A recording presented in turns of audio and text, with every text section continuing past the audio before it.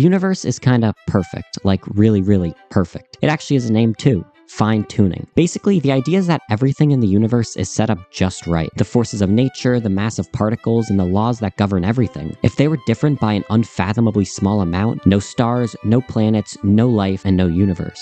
Imagine stretching a measuring tape across the entire universe. This tape is the force of gravity. Now adjust the force of gravity by moving the marker on that tape by just one inch. Great, now everything in the universe either collapsed into a black hole or drifted apart into nothingness. More precisely, gravity's strength is fine tuned to 1 part in 10 to the 60th power. That's a 1 with 60 zeros, which looks like this. Or 1 novemdecillion. Yeah, that's an actual number. But why stop at gravity?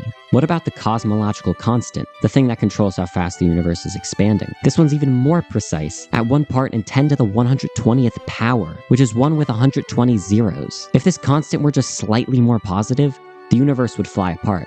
Slightly negative, and the universe would collapse.